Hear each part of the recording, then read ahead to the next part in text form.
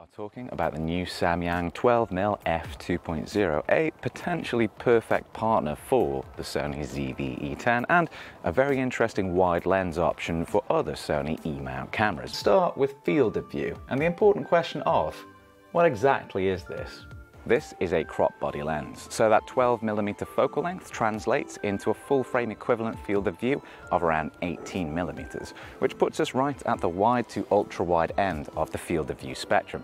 And that's great for vlogging because you can hold the camera quite comfortably, like this, and still get a good amount of background, or if you want to extend your arm, use a grip extension, you can get some real panoramic wide views with lots of your beautiful background and less of your suboptimal subject.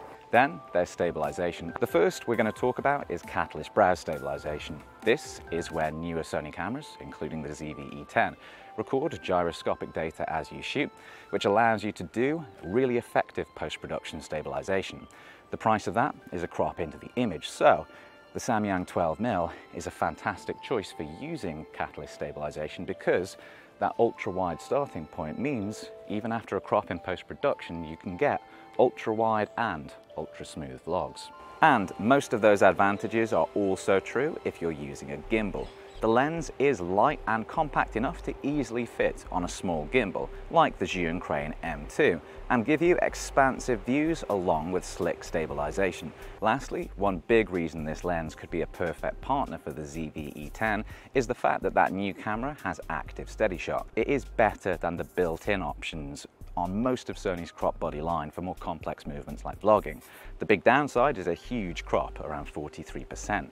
So the Samyang is a great choice because that ultra wide starting point means even after a crazy crappy crop, you end up with a decently wide viewing angle, around 25 mil in full frame equivalent field of view terms. You may also spot some distortion at the edges of the lens, but again, this is rarely a noticeable issue and it is a common byproduct of most ultra wide lenses. Let's talk bokeh. The Samyang provides modest but pretty nice background bokeh in an arm's length vlogging scenario. It's subtle and transitions smoothly between in and out of focus areas.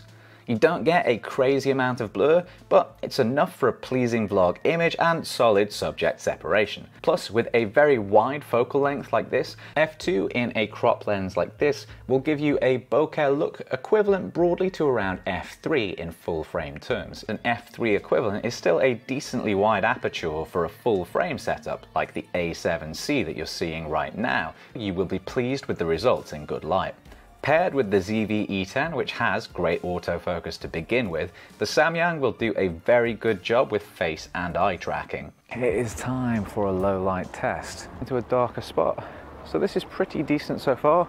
I think you can get some nice images, but as we are seeing, the autofocus performance is just a bit too hit and miss to be reliable. This is not the perfect low light vlogging lens. However, if you have even a small amount of light on your subject, the results will be much better. But what I would say the Samyang is overall a good experience and represents pretty good value for money when you compare it to other similar options. If you want that ultra wide view, then the Tamron 11 to 20 f2.8 or Sony 10 to 18 f4 are both significantly more expensive as well as having narrower apertures which means less bokeh and likely more problems in low light. You would get some zoom capability with those lenses and the Sony includes OSS or in-lens stabilization but I don't think that those are attractive trade-offs given the difference in cost for my use case.